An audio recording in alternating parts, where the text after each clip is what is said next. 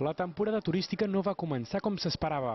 L'ocupació va caure dos punts respecte al previst al mes de maig, situant-se per sota del 50%.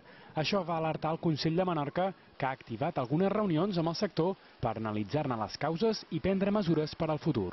Hay que reaccionar, hay que reaccionar porque tenemos que aprender siempre de los errores y tenemos que ser muy humildes y aprender de lo que pasa. Entonces, eso es lo que nosotros queremos, aprender de lo que ha pasado y ir ya previendo las acciones y los trabajos para que el año que viene no nos vuelva a suceder. Han tingut una meteorologia a inici de temporada que no ens ha ajudat massa també. Tenim un tema econòmic encara que segons quins pisos emissors afecta eh, en quant al nostre destí. Però tancat el mes de juny, les dades són més positives.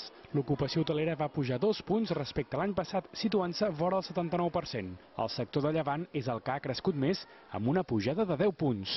I les previsions per juliol i agost també són bones. Per això el sector ja mira cap a les puntes de la temporada, primavera i tardor, on els problemes de connectivitat són un obstacle. No tothom vol viatjar avui en dia amb un paquet tancat, eh? I eh, hi ha molt de producte a Menorca pues, que es podria afavorir, eh, pràcticament tothom, per tot, de si aquesta connectivitat fos, primera, més factible i després assequible en quant en en el preu total del producte. Tot i la baixada del turisme alemany, el bon comportament dels visitants britànics i espanyols i la crescuda del mercat italià han permès recuperar les xifres d'ocupació d'anys anteriors.